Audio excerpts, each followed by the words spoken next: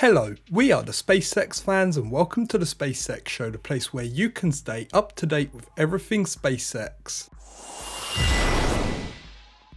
As a reminder to start the video today, we can hopefully expect another Starlink launch this week. The Starlink 5.2 mission is currently scheduled for tomorrow, Thursday 26th at 9.02am UTC or 4.02am EST. In addition to that Starlink mission, we could see two more before the month ends. The Starlink 26 mission is scheduled to lift off on Sunday 29th at 3.02pm UTC or 10.02am EST. Plus, there's also another Starlink launch expected next week. The Starlink 5.3 mission is currently scheduled to lift off on Tuesday 31st at 8.27am UTC or 3.27am EST. On Monday, for the first time ever, a fully stacked Starship system was fully filled with propellant for the wet dress rehearsal testing. At some point there was this crazy methane vent. SpaceX also did some more testing of their Fire-X fire suppression system. SpaceX posted this cool video of the wet dress rehearsal testing. They said Starship completed its first full flight-like wet dress rehearsal at Starbase today.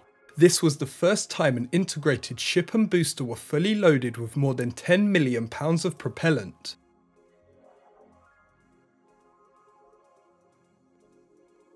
They responded to this tweet and said today's test will help verify a full launch countdown sequence as well as the performance of Starship and the orbital pad for flight-like operations. SpaceX also posted another tweet with some cool pictures of the wet dress rehearsal testing. They said after completing Starship's first full flight-like wet dress rehearsal, Ship 24 will be destacked from Booster 7 in preparation for a static fire of the booster's 33 Raptor engines. Whilst there are no possible closures for testing coming up, there is a temporary road closure posted. This temporary road closure is scheduled for tomorrow, Thursday 26.